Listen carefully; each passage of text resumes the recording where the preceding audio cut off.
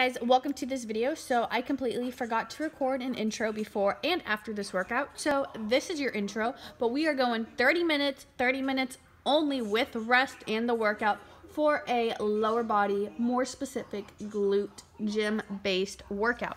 So here we are starting off kind of warming up our lower body and our glutes with three sets of 15 kettlebell squats. I am holding a 25 pound kettlebell here which is not crazy difficult for me, but not easy. I'd say it's medium weight for me.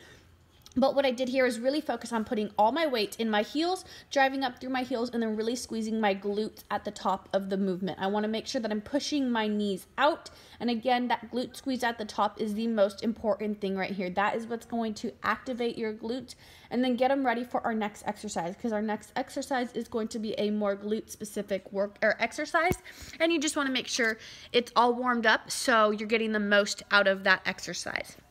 So again, all your weight in your heels and you got three sets of 15 for a kettlebell squat. The goal with this workout is to take as little of a rest in between. That's why we may be doing higher reps, less weight, um, or things that are, you know, not crazy difficult because it is supposed to be a workout that really maximizes our glutes and our glute work today, but something that doesn't need a lot of rest and break in between, which is why we're able to keep it at a 30 minute mark.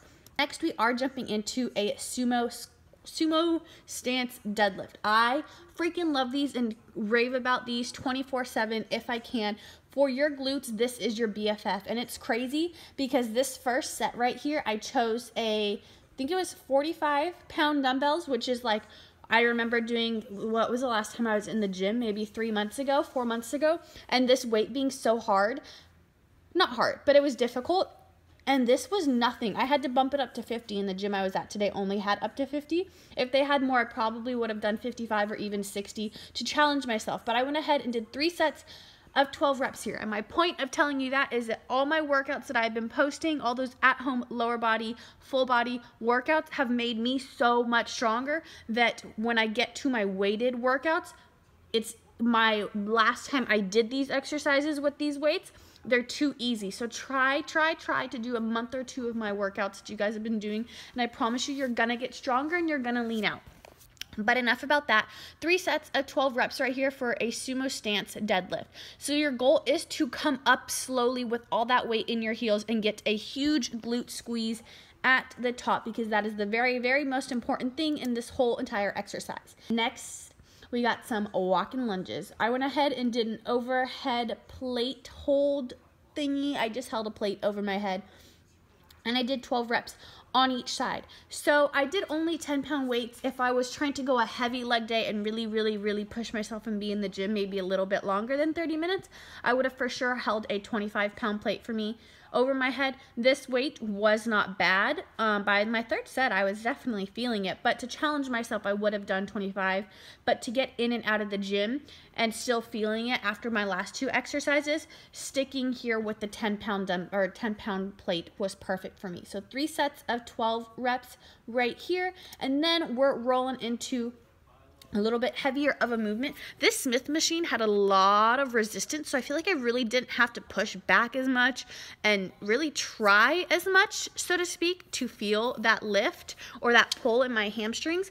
But I went ahead and did three sets of 12 reps of these with a 25 on each side. Again, that's a moderate weight for me. I could have done three or four sets of 15 and really felt it, but I really wanted to focus on pushing my butt back, getting that glute squeeze at the top, and really feeling that stretch in my hamstring. So this weight was pretty moderate for me, but I did three sets of 12 reps with about 15 to 20 seconds of rest in between. So after that, my hamstrings are feeling it, and I'm really looking forward to being sore tomorrow because I know it's going to happen. And here we're wrapping up to our last two exercises. Bulgarian split squats, I freaking hate. I love them because they're so good and your butt cheeks feel them and your quad feels it, but I hate them.